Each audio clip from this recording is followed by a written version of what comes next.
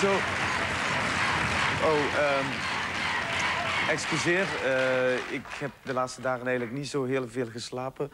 Maar eh, het is heel erg gek, maar ik word altijd midden in de nacht wakker. Hè, van, ik hoor allerlei geluiden op zolder, op, de kelder en aan mijn raam en aan de deur. En overal hoor ik geluiden. En daardoor ik ben altijd een beetje, beetje... Ik zou eigenlijk wel enkele dagen prijs moeten om eens goed te kunnen uitslapen. En wat er bij mij thuis eigenlijk gebeurt, dat durf ik eigenlijk niet te vertellen. Maar ik durf er wel over zingen, dat ga ik nu doen.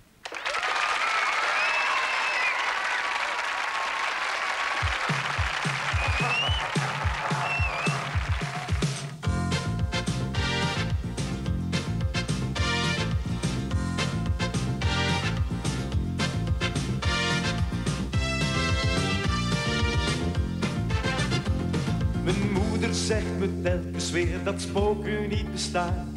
Maar waarom hoor ik ze dan elke nacht? Hij rommelt zachtjes samen deur of ligt onder mijn bed. En hoor ik dan zijn akelige lach. Heb jij dat ook? Zo'n last van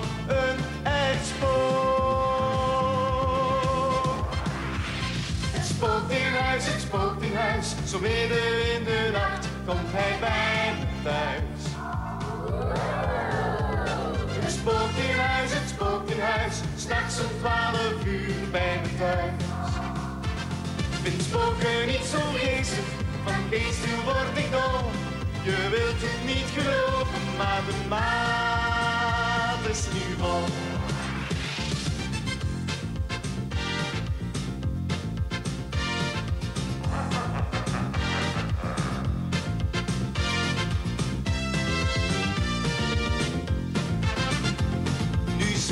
rechtop in mijn bed, ik ben nu niet meer bang.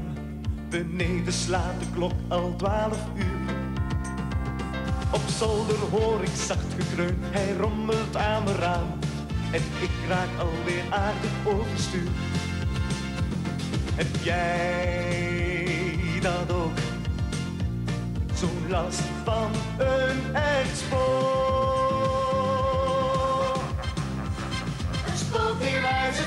Zo midden in de nacht komt hij bij me thuis. Het spookt in huis, het spookt in huis. S'nachts om twaalf uur bij me thuis. Maar wil mij niet geloven, verklaart me echt voor gek. Maar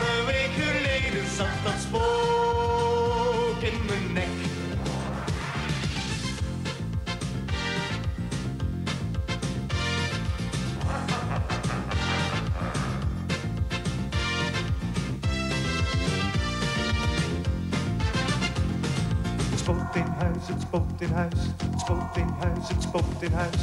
Als ik straks weer bezoek krijg, dan vraag ik aan dat spook of hij naar moeders kamer gaat en gelooft zij het ook.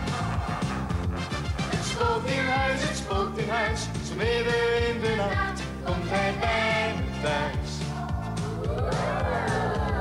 Het spookt in huis, het spookt in huis, s'nachts om twaalf uur bij me thuis. Maar wil mij niet geloven, laat me echt voor gek. Maar een week geleden zag dat spoor.